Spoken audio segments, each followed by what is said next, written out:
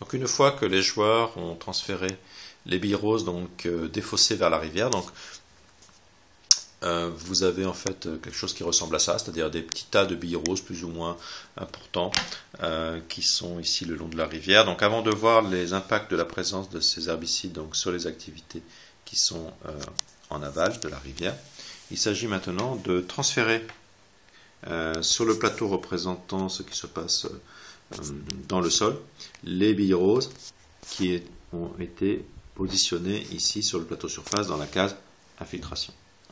Alors là, je dirais qu'il y a deux possibilités. Soit euh, le plateau, donc ce plateau ici qui représente la partie souterraine, est à vue des joueurs, hein, c'est-à-dire qu'il est visible des joueurs, auquel cas ben, il suffit de demander à chaque joueur de lui-même prendre ses billes roses hein, et les positionner sur les cases correspondantes donc, du plateau euh, sous-sol. Ou alors, autre possibilité, vous avez choisi euh, de masquer les processus souterrains aux joueurs. Donc, ce plateau-là n'est pas visible des joueurs, il n'est visible que de vous-même en tant que meneur de jeu. Et à ce moment-là, c'est vous qui allez, à partir d'une réserve de billes roses, tout simplement, hein, euh, reporter case par case. Hein, donc, ça peut être assez fastidieux, mais en tout cas, si c'est votre objectif, ben, c'est masquer en fait aux joueurs. Et sur le plateau surface, ben, en fait, les billes peuvent rester. Elles restent, elles restent là. Euh, c'est vous qui les affectez euh, dans, le, dans les cases du plateau euh, sol, donc représentant les processus souterrains. Là aussi, les billes bleues sont inutiles puisque la bille bleue de la pluviométrie ne représente pas un volume d'eau, mais simplement aide à modéliser les transferts de polluants.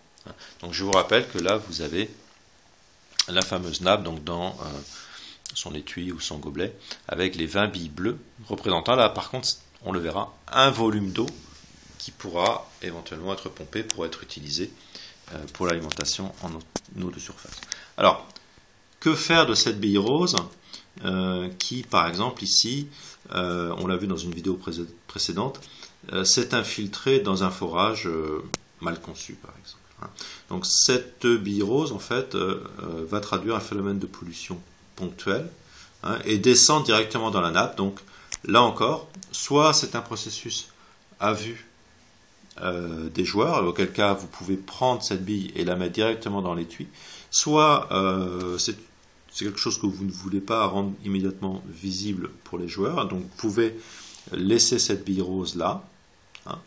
et par contre, dans le stock de billes roses, là, directement, vous allez euh, mettre cette bille rose, donc hein, ce polluant maintenant, on peut le dire, hein, euh, dans la nappe. Donc il vient euh, se mélanger aux billes bleues.